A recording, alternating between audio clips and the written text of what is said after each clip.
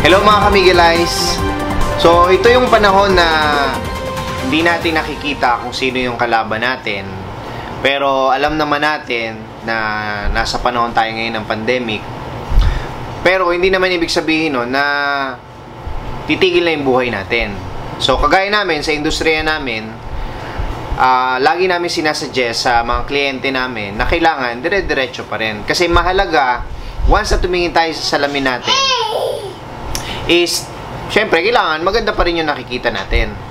So, gumawa kami ng video para at least bigyan kayo ng idea kung ano ang magiging buhay natin sa loob ng salon. Ito na rin yung magiging guidelines natin. Ano ba yung mga dapat i-expect natin sa buhay salon natin.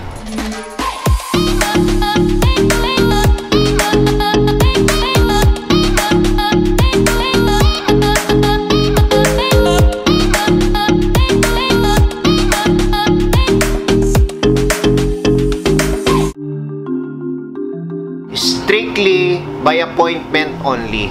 Ito po ang unang rule natin pag nagsimula na tayo ng salon operation.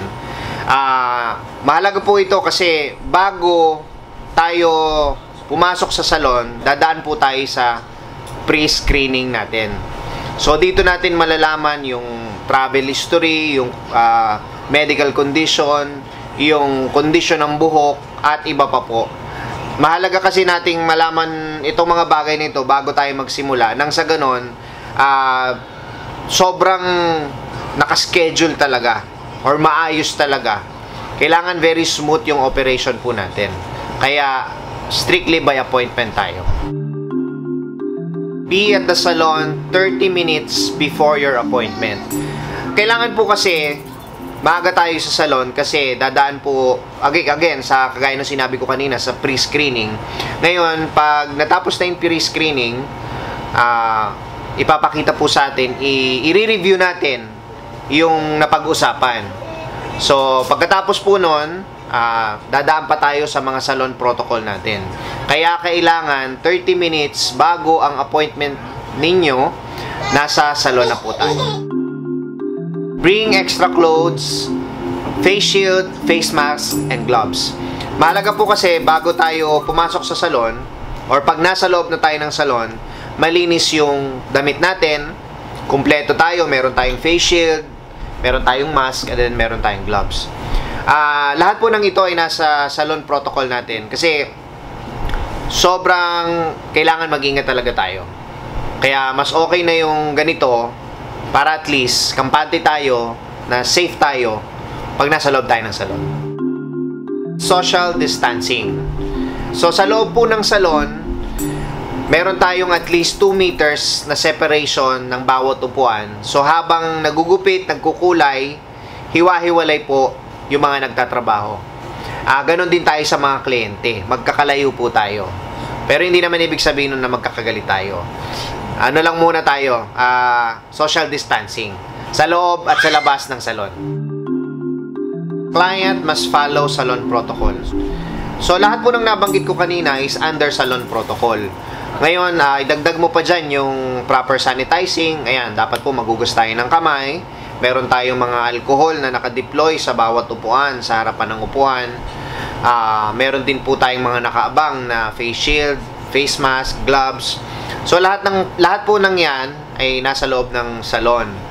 So, i-guide naman po ng bawat stylist at ng mga staff namin ang mga kliyente.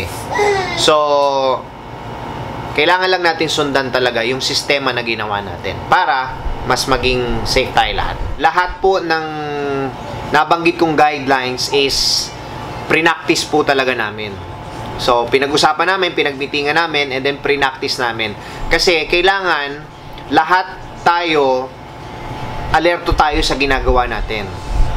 Kailangan iisa ang nasa isip natin, isa yung nasa utak natin para yung galaw natin talagang pinag-aralan. So, sinishare ko lang po sa inyo na itong mga guidelines na ito is hindi lang basta-basta nabuo ng walang basihan.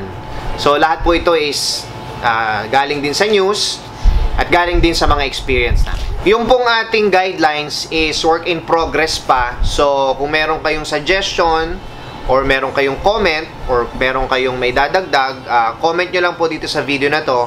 Ngayon, para po doon sa mga gusto magpa-appointment, pwede na po kayo magpa-appointment ngayon. Siyempre, pinakamahalaga sa lahat, huwag nyo kakalimutan, alam nyo na yan, uulitin ko lang.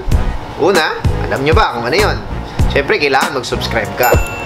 Pangalawa, kailangan, oh, alam mo ba kung ano yung pangalawa?